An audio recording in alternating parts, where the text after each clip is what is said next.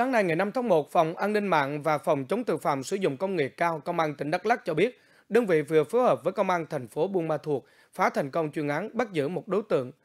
từ tỉnh Tiền Giang đã có hành vi chiếm dụng trên 400 tài khoản Facebook để lừa đảo hơn 10 tỷ đồng. Trước đó, Công an tỉnh Đắk Lắk nhận được đơn tố giác của chị Kỳ Diệu Quỳnh, 27 tuổi, trú tại thị trấn EAK, huyện EAK, tỉnh Đắk Lắk, với nội dung khoảng 10 giờ 50 phút ngày 30 tháng 10 năm 2021, chị Quỳnh nhận được tin nhắn mượn tiền từ Facebook của một người quen ở phường Thống Nhất, thành phố Buôn Ma Thuột. Sau đó, chị Quỳnh đã ba lần chuyển khoản với số tiền là gần 30 triệu đồng.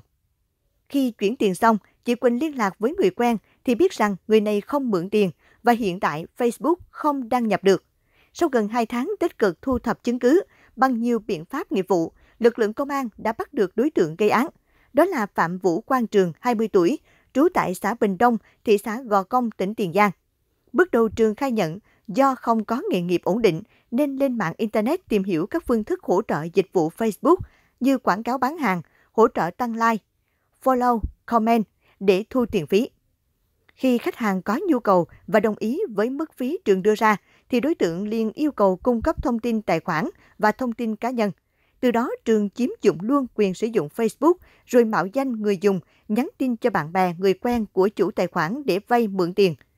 Khám xét nơi ở của trường, công an đã thu giữ trên 600 triệu đồng, 3 điện thoại di động, 3 máy vi tính, 9 thẻ ATM cùng nhiều tăng vật có liên quan.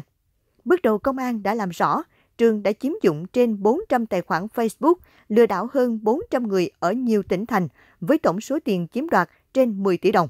Hiện vụ án đang được công an tiếp tục điều tra mở rộng.